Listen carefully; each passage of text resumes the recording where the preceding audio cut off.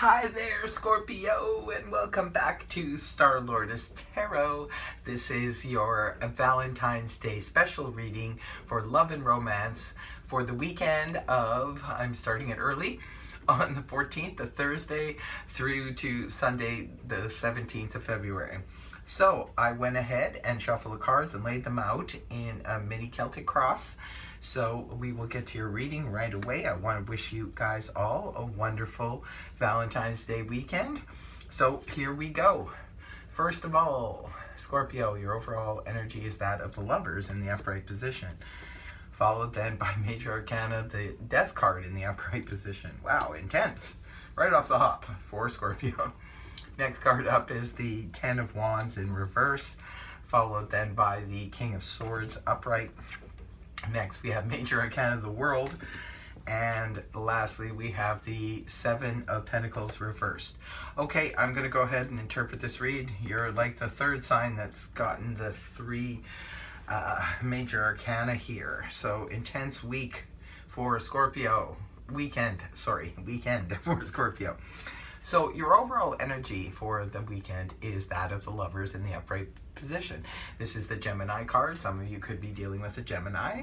Um, and the lovers is all about it represents making a choice making a decision it could be that this weekend some scorpios if this is resonating for you you'll know if it's not then you don't need to worry about it but some Scorpios could be making a choice or a decision because we can choose to love, choose not to love. We can uh, choose to enter into a relationship and get serious about it.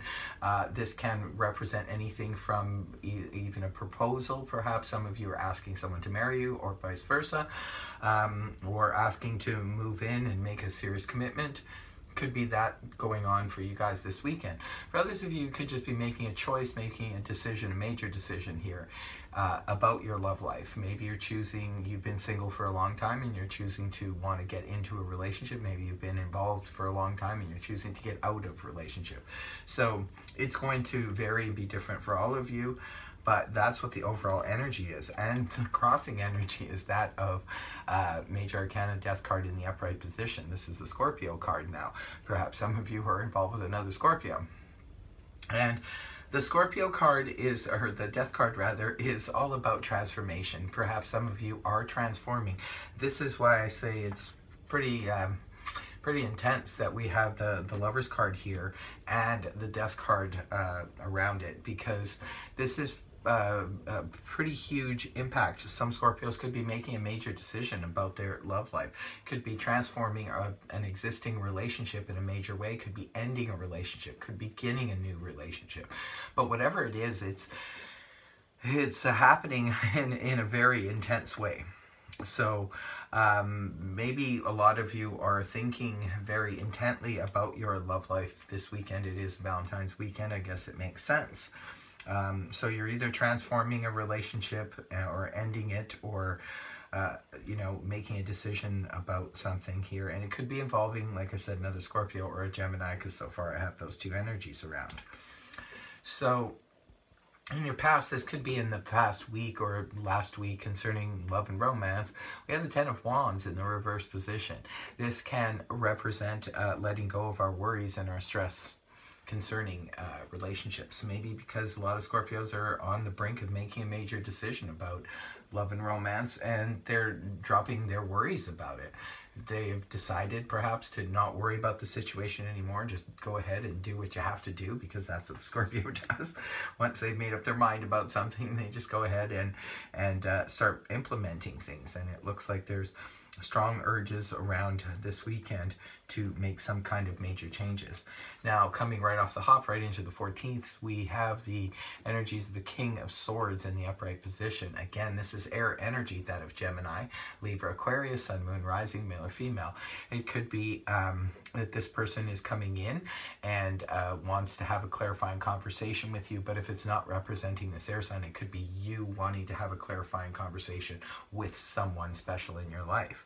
Now, this could be you, it's right on Valentine's Day, maybe you're going out for dinner with somebody or and then going to end up having a great talk with them, but laying everything on the line. This is you being uh, completely upfront and very honest about the situation or someone doing that with you. Now, the next card you have up, heavy hitters here. Wow, we've got the world in the upright position. This is all about completion. This is about completing a cycle in an area of your life. And in this particular area, we are talking about love and romance. So this could be a major uh, closeout for some of you, closing out a long-term relationship. For others of you, you could just be um, closing out a long-term uh, of uh, a lot of years of single singlehood and perhaps you're bringing an end to that uh, situation. For others of you, you could be completing a cycle in an area or an aspect of your relationship.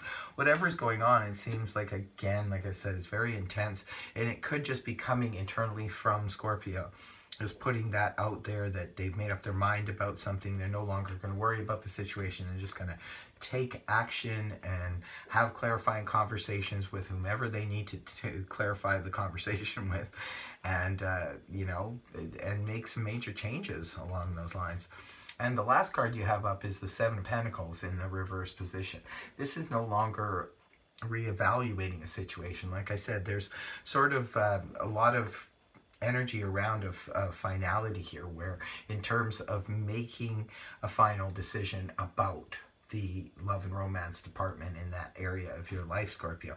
You're no longer reevaluating a situation. It looks like you've made up your mind whether you're going to get into a relationship or leave a relationship or whatever it is you're going to do. It seems like um, a major weekend for you guys. So that is your reading, Scorpio. I hope it helped you. If it did, please feel free to like, share, and subscribe. Have a wonderful Valentine's weekend and take care. I'll see you again soon. Bye bye.